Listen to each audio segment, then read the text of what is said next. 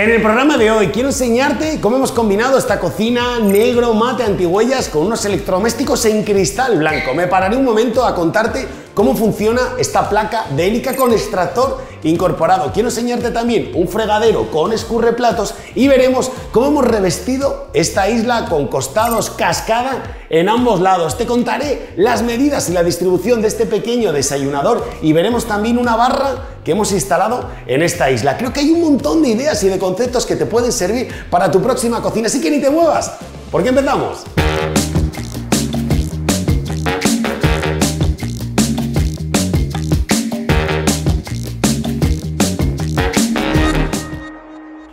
Familia, yo soy Daniel Colino de Cocinas CJR y os doy la bienvenida a todos los cocinólogos y a todas las cocinólogas que ya formáis parte de esta familia. Gracias por acompañarme en otro programa más. Y si acabas de llegar hasta aquí buscando inspiración para diseñar tu próxima cocina, tengo que decirte que estás en el lugar adecuado. Aquí puedes recibir muchísima información. Te animo también a que te pases por nuestra página web, por nuestras redes sociales, porque subimos fotos en alta calidad de todos nuestros proyectos y creo que te pueden ayudar para diseñar tu próxima cocina. Pero si con todo el contenido que encuentras no consigues hacer el proyecto que te gusta, ese proyecto que te enamora, quiero que sepas que todo mi equipo y yo te podemos echar una mano. Te he dejado en el primer comentario toda la información y si clicas justo aquí en esta tarjeta te lo explico perfectamente en un vídeo. Y hoy estamos grabando en una vivienda unifamiliar que tiene una cristalera preciosa hacia la entrada de la vivienda, que entra un sol divino, da gusto estar aquí en esta estancia. Pero importantísimo, como siempre, vamos a comenzar con las medidas. ¿Qué medidas tiene esta estancia? Quiero que sepas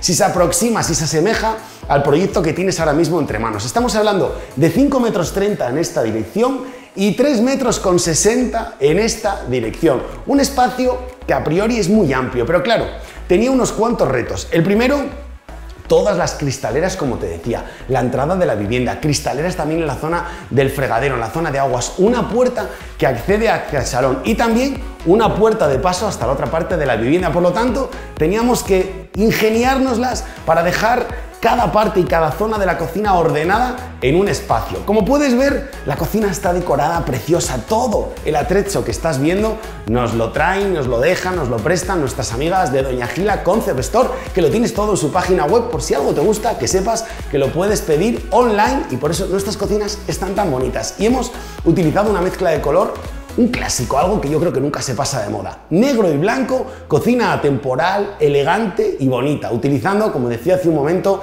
el negro, seda, antigüellas. Este acabado mate tan gustoso y tan prestoso de tocar. Hemos utilizado una encimera de Decton, el Decton Aura, utilizando también los costados en cascada y un paquete de electrodomésticos de Balay en cristal blanco para romper con todo ese negro. Quiero explicarte también durante todo este programa qué medidas, qué pasos hemos dejado, cómo hemos solucionado el tema del extractor incorporado dentro de la placa y cómo hemos distribuido todo este proyecto de cocina. Pero, como en todos los programas, me acompaña Estela, que siempre me hace preguntas súper interesantes a lo largo de todo el programa. Yo quiero darle la bienvenida a un programa más. Estela, bienvenida a otro programa más. Hola Dani, hola familia de cocinólogos. Pues estoy súper contenta y feliz como siempre de poder acompañaros en un nuevo programa y poder ser la voz de todos los comentarios de nuestros cocinólogos.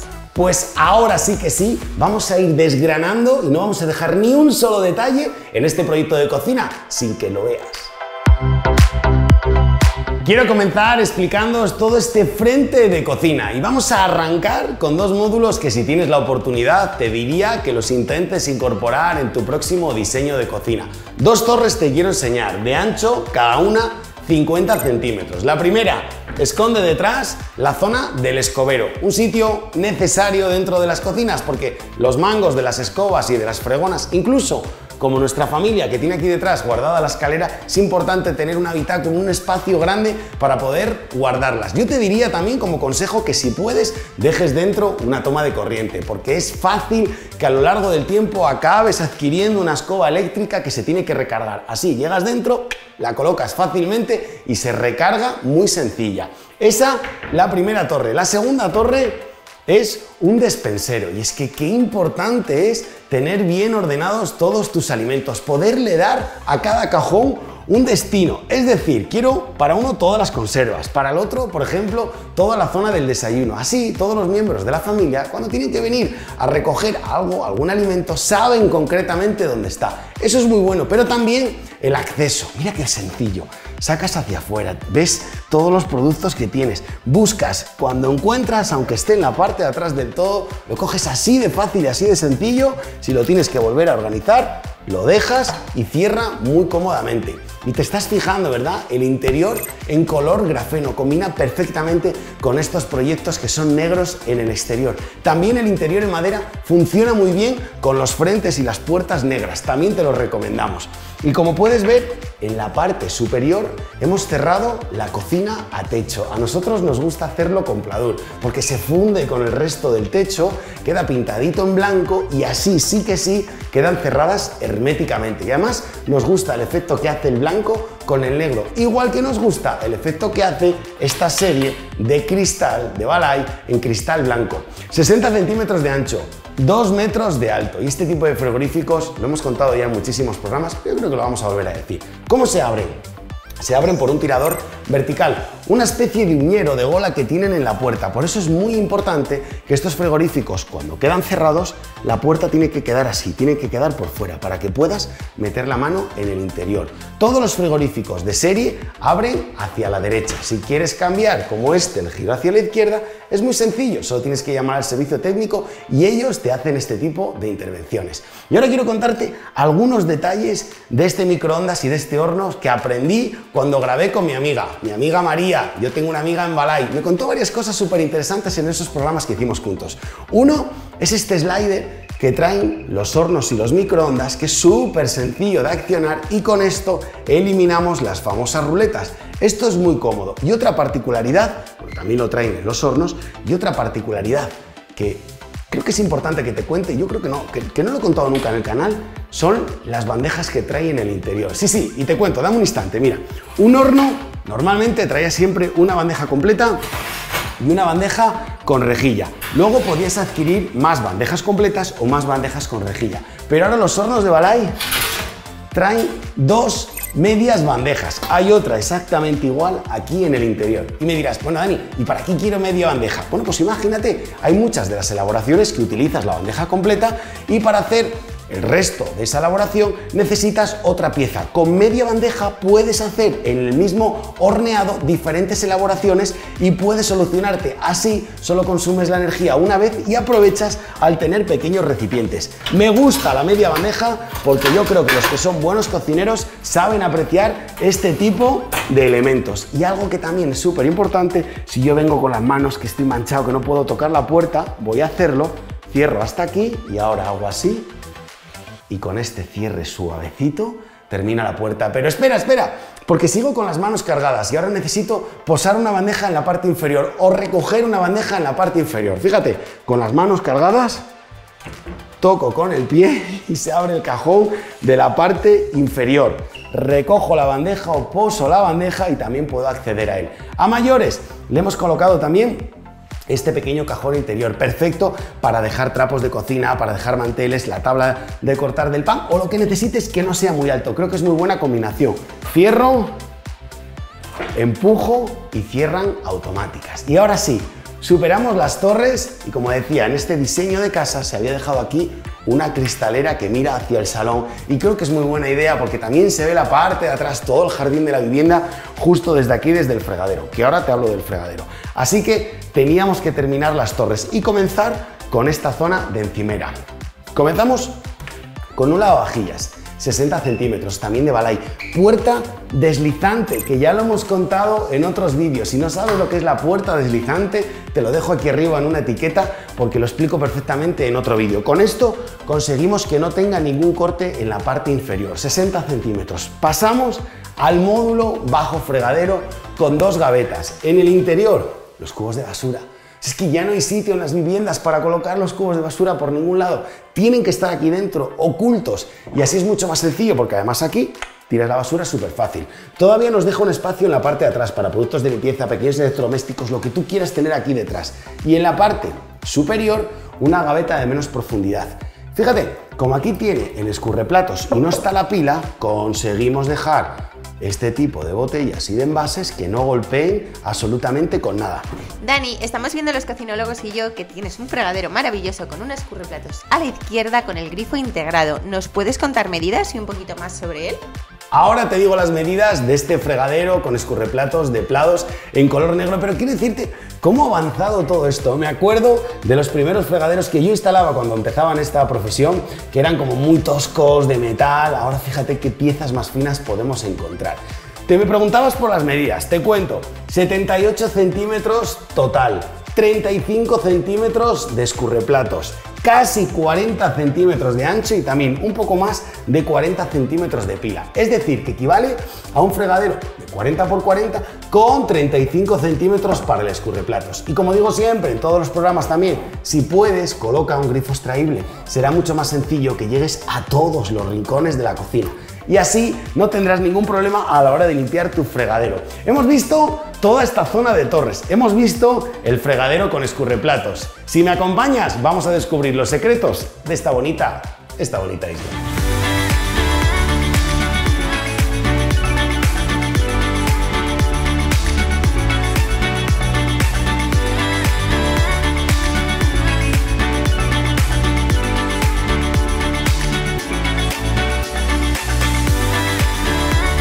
Lo más importante si estás pensando en diseñar una isla en tu cocina son los pasos y esto es importantísimo. Yo creo que también lo repetimos en todos los programas, pero una vez más, nunca viene mal. 90 centímetros es el paso límite que nosotros en Cocinas TJR determinamos para que la isla sea cómoda. 90 centímetros hemos dejado en esta parte, 120 centímetros en esta parte y 105 centímetros, pero esto te lo cuento luego en la parte de atrás. ¿Cómo hemos compuesto esta isla. Son dos gavetas de 120 centímetros, dos buenas gavetas, con los costados en cascada, utilizando el color, este acabado tan bonito del Decto Aura que viene con esta veta tan bonita que se traspasa y que nos gusta mucho. Ya sabes, el Decto, una superficie ultra compacta que resiste los cambios de temperatura, que resiste también los cortes sobre ella, bueno, una superficie, una encimera duradera y para mucho tiempo. 120 centímetros es una gran gaveta, pero además aquí hemos utilizado nuestra profundidad intermedia,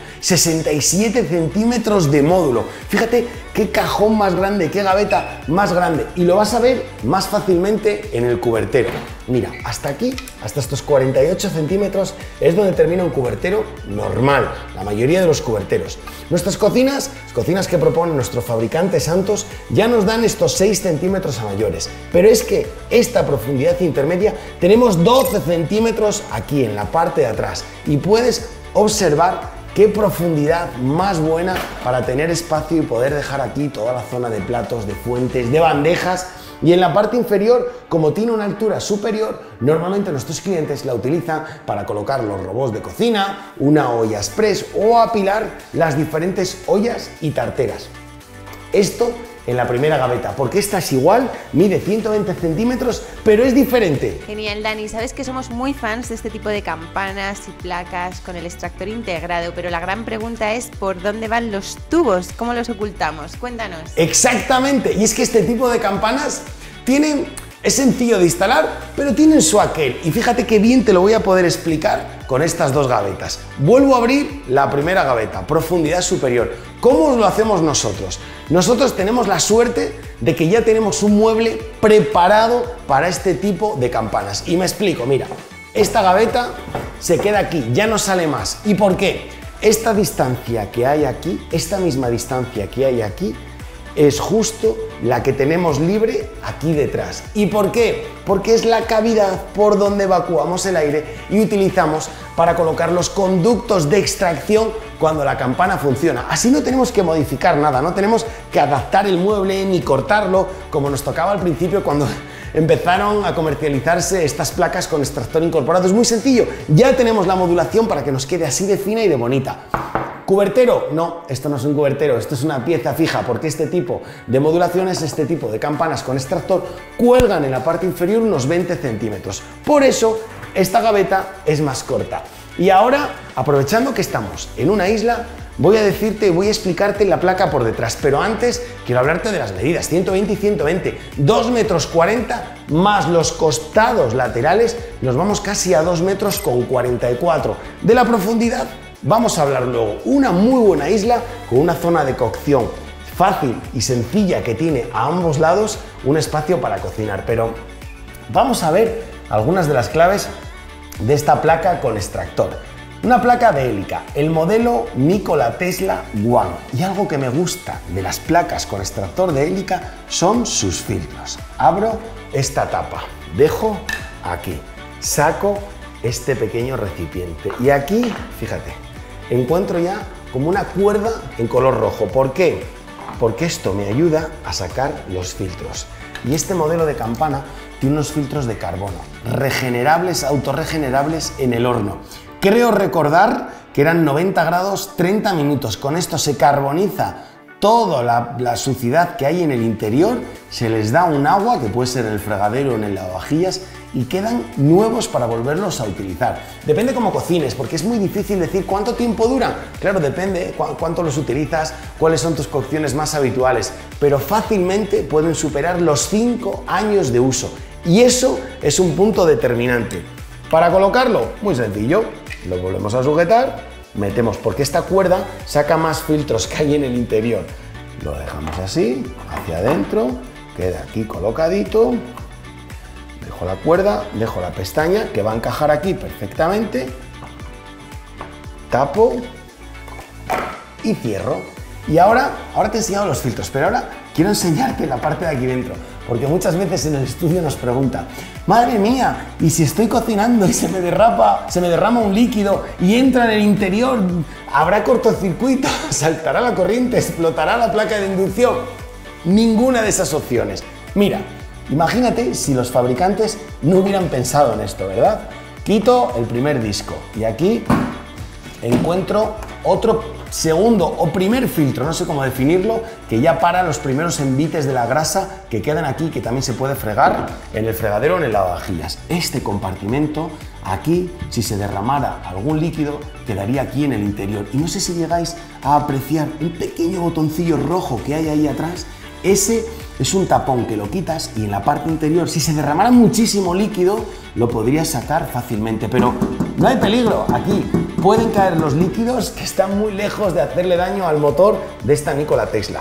Lo vuelvo a colocar, busco la flecha que la tengo aquí, tac, encaja perfectamente, coloco en la parte superior, busco que el logo quede recto y ya he montado mi placa.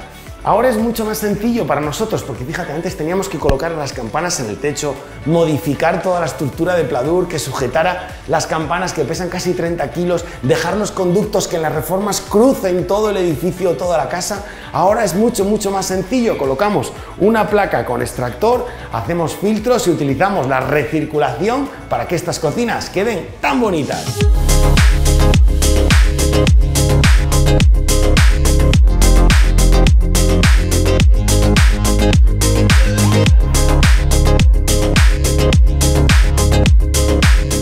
Qué bonita quedó esta zona de desayunador. Ahora entramos a descubrirla por completo, pero quería explicarte cómo es la parte de atrás de esta isla, porque recuerda, eran 2 metros 44 de largo y le hemos dado una profundidad de un metro con 0,4 centímetros. Y para componerla hemos utilizado en la parte trasera dos gavetas también de 120 centímetros, pero en este caso con profundidad 37 centímetros. Nuestras gavetas con menor profundidad. Aún así, quiero que veas lo útiles que son y la de productos que puedes guardar en ellas. Al incorporarle esta barra, dejamos el módulo y esta gaveta, esta sí que funciona, tiene extracción.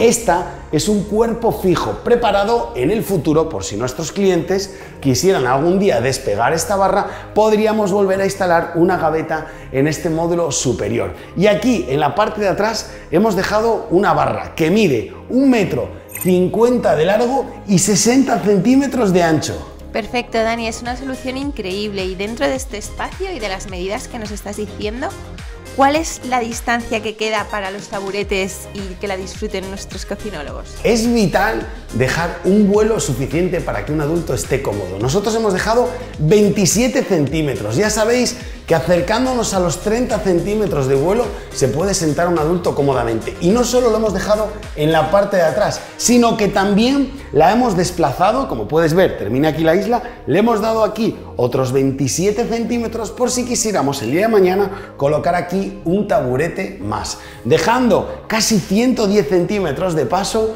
llegamos a esta zona de desayunador, con un módulo también de 120 centímetros. Utilizamos Decton en la parte superior, utilizamos las gavetas de profundidad reducida y hacemos esta composición utilizando una herrería en color negro para sujetar estos estantes que creo que combina perfectamente estas piezas, estos estantes a juego en roble rústico con la barra dejando 52 centímetros y 32 centímetros, un espacio mayor siempre en la parte inferior, porque puedes colocar una decoración, como en este caso, puedes colocar un pequeño electrodoméstico, entonces siempre necesitas aquí una mayor altura.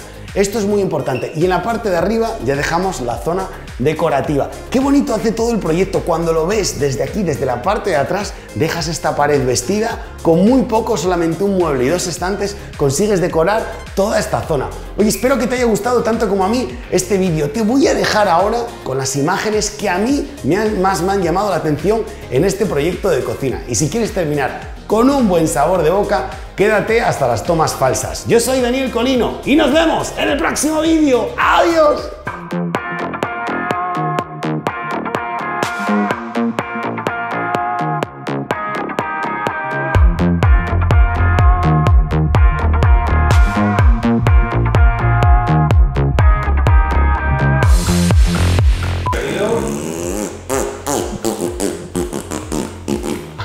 Por dos módulos, dos torres completamente... Con, completamente... Estoy arriba, ¿eh? Como estoy brilloso. Viaje. Uno, otro para, tengo una idea, para, para la carne, para... a tener ordenadas un montón de cosas que tengas en tu cocina. Perdón, cosas no se tienen. Con mi amiga María, ya sé que yo tengo una amiga en Balay que ahora... Eh,